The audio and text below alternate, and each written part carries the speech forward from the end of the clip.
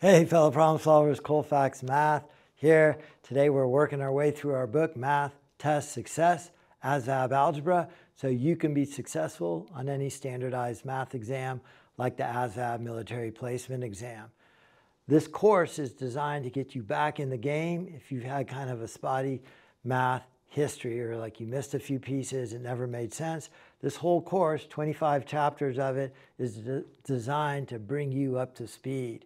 So what I'm doing in this book, there should be a digital download and a paper uh, book you, you'll be able to purchase. I'm not quite done with it yet, but as soon as I get it done, I'll make it available. I'm trying to get that digital download available as soon as possible. And the whole point of this book is that there's going to be a video for every chapter. So this is currently chapter eight. You'd have that book in front of you, or if not the book, at least a notebook and paper and pencil. And we're going to go through this together so you're not on your own going through the math learning process. I'll be there every chapter, every step of the way. So with that said, let's go ahead and get started with chapter eight, solving inequalities and only one variable inequalities.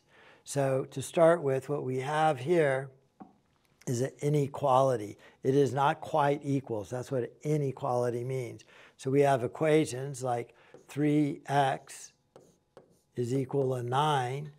That is an equation. To solve that equation, I divide both sides by 3, and I get x is equal to 3, 9 divided by 3.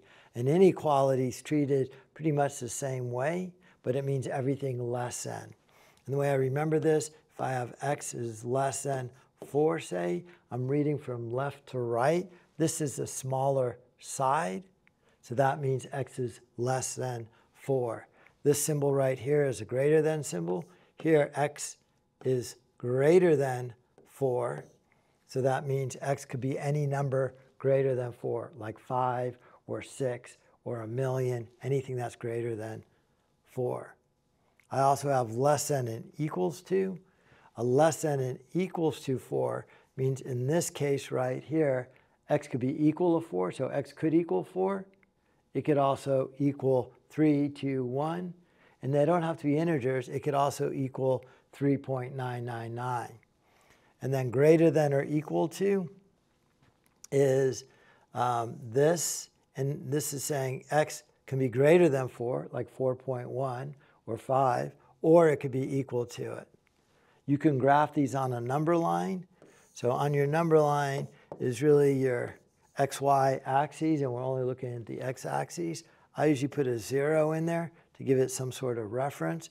If I'm graphing this, x is equal to 4. Well, I just put a dot right there. It is equal and greater, so then I open it up that way. So it's saying x is greater than or equal to 4 there's an arrow to the right. We put another one here. Let's say I have x is less than 1. It is not equal to 1. It is only less than 1. That is an open circle to say it is not inclusive, and it goes that way. One other key thing to remember in solving these inequalities, if I have negative 3x is greater than or equal to 9, trying to get x by itself, it is being multiplied by negative 3. Reverse operations division. I divide both sides by negative 3. These cancel, giving me x by itself. 9 divided by negative 3 is negative 3. Get ready for it. Here's a big idea here, and it's a hard one to remember.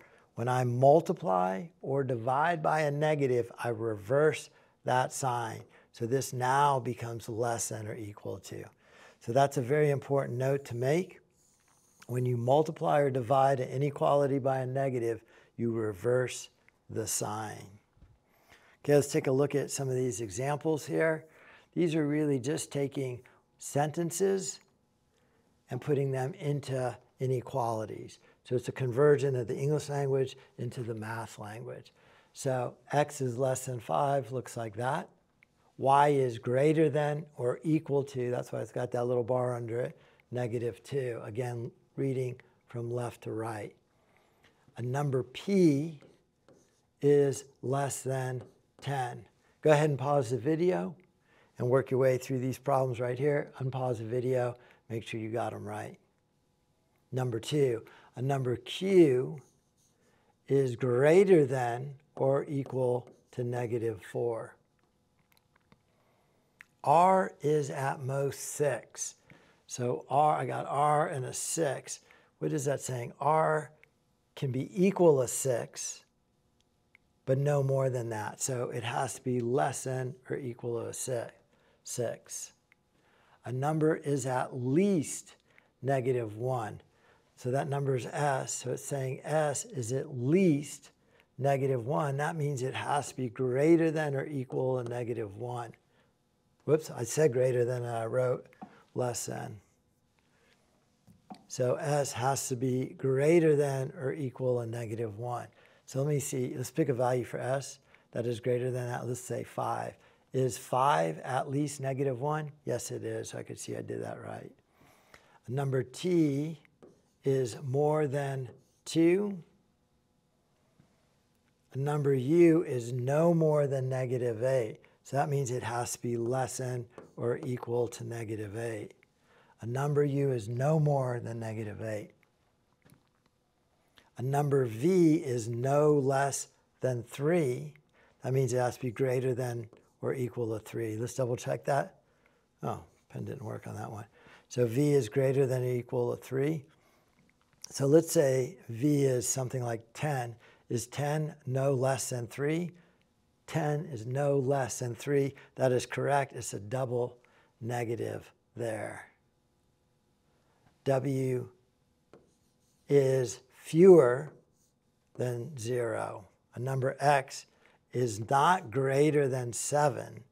That means it has to be less than 7.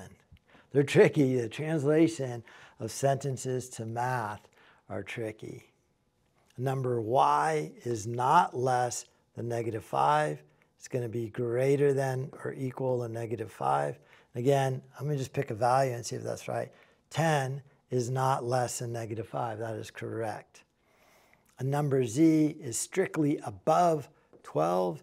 z is greater than 12. Number a is below negative 9. Those are tricky. Um, Good job working your way through there. Let's move on to section 8.2 now. And this is solving inequalities. It is kind of following the rules of algebra and then graphing them as well. Again, use an open circle for not including the value and a closed circle if it is equal to it as well.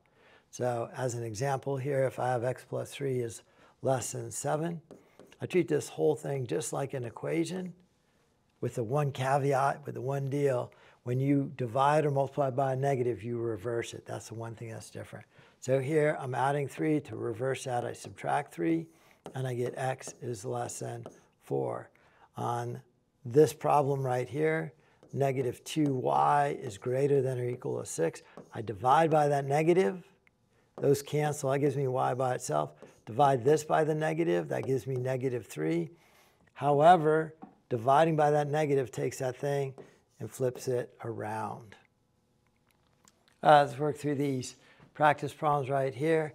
A minus 2 is greater than 5. I'm going to add 2 to both sides to get A is greater than 7. Divide both sides by 3. B is less than or equal to 9 divided by 3. Here's the important one. I'm dividing by a negative 4. That's going to give me x by itself. I am dividing by a negative. I flip that thing around. 12 divided by negative 4 is negative 3. I'm going to subtract 1 from both sides. I'll do this one over here. 2y plus 1 is greater than or equal to 4. Subtract 1 from both sides. 2y is greater than or equal to 3. Divide both sides by 2. Those cancel. y is greater than or equal to 3 halves, or is a mixed number 1 and a half. This one right here, this is a good one. So it's got that trick in it. Negative 3x plus 5 is greater than or equal to 20. Subtract 5 from both sides. Negative 3x is greater than or equal to 15. Divide by negative 3. That's going to give me x by itself x, 15 divided by negative 3, negative 5. And then don't forget this right here. I got to flip that thing around to look like that. All right, section 8.3, inequalities in word problems. Um, kind of like what we did before. Here's some practice problems here. The sum of a number, so the sum of a number, we'll call that number x, and 5 is no more than 12. So I'll call it that right there. Let's double check that. Let's solve this. Subtract 5 from both sides. x is less than 7. So if I picked a number that's less than 7, like 0, I take 0, plug it in there. Is 5 less than 12? Is that number no more than 12? Yes, it is. 3 times a number is greater than 15. Divide both sides by 3. x is greater than 5 and then a value is no less than 7, that means it has to be greater than or equal to 7. And again, a double check. Something that holds true right here is 8. Is 8 no less than 7? Yeah, 8 is greater than 7, so that one works right there. Okay, here's the test on chapter 8. Again, I pause the video right here, do the problems, and then unpause the video, watch how I do them write an inequality, a number, we'll call that number, is greater than negative 3. A number is less than or equal to 8. A number is at least 5, so greater than or equal to 5. Again, let me pick a value and plug it in there. Is 6 at least 5? Yeah, it is. 10 at least 5? Yeah, it is. A number is at most negative 2. So if I had a number like negative 2, is negative 2 at most negative 2? Yep. If I had negative 10, is negative 10 at most negative 2? Yes, it is. All right, solving and graphing. Number 5, I'm going to subtract 5 from both sides to get x is greater than 5. To graph that, there's 0, there's 5, it is not inclusive open circle and it's greater than. Here, y, you can divide both sides by 2, is less than or equal to 7. Here I'm going to add 3 to both sides. a is less than 7. This one right here is a tricky one. I divide both sides by negative 3. So I have negative 3b is greater than or equal to 9. I divide both sides by negative 3, giving me b by itself. Because I divide by that negative, I flip that thing around. 9 divided by negative 3, negative 3. Number 9, I subtract 1 from both sides here to get 2m is greater than 3 minus 1, 2. Divide both sides by 2, m is greater than 1. I'm going to add 7 to both sides here to get 4p is less than or equal to 12. Divide both sides by 4. p is less than or equal to 3. That's a tricky one here. Let me rewrite over here. Negative 2x plus 3 is less than 7. I'm going to subtract 3 from both sides. Negative 2x is less than 4. Divide by that negative, giving me x by itself because I divide by that negative, flop that thing around, negative 2. I guess the reason why I say that so much is it's such an easy mistake to make. Um, and almost always part of a standardized exam where you divide by that negative, especially in the math knowledge portion, um, to see if you remember that rule. Lastly, number 12, 3y minus 2 is greater than negative 1. I'm going to add 2 to both sides to get 3y is greater than Negative 1 plus 2 is 1. Divide both sides by 3, and y is greater than or equal to 1 third. All right, let's move up to these word problems right here. I guess I could have left a little more room. The sum of a number and 7 is less than 15. Then I'd solve that, subtracting 7 from both sides. x is less than 8. Number 14, twice a number is at least 10. So that means it has to be greater than or equal to 10. So then I divide both sides by 2. x is greater than or equal to 5. A number is decreased by 4. A number decreased by 4 is no more than 6. So that means it has to be less than 6. I don't think it's equal to. Add 4 to both sides. x is less than 10. 3 times a number, 3 times a number is increased by 2 is greater than 11.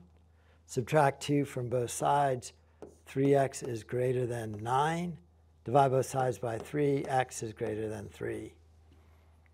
A value, we'll say a value, whatever that is, x, divided by 2 is no less than 5. That means it has to be greater than or equal to 5. Multiply both sides by 2 to get x is greater than or equal to 10. And the last one, if you're still here, fantastic job sticking with it. I know it's, it's, it's, it's work. It, it's hard to do this stuff. But the more you study, the more you practice, the more you actually do problems, the better you get at them. And the goal of this is 25 videos, 25 chapters, one a day in one month. You're able to go back to wherever you need to be in math. Pass that standardized math exam, take the next college level math class, whatever it is, this is the foundation. A number subtracted from 9, so that means 9 subtracting that number is at most, is at most 3. Subtract 9 from both sides. This is a good tricky one here. Negative x is greater than or equal to negative 6.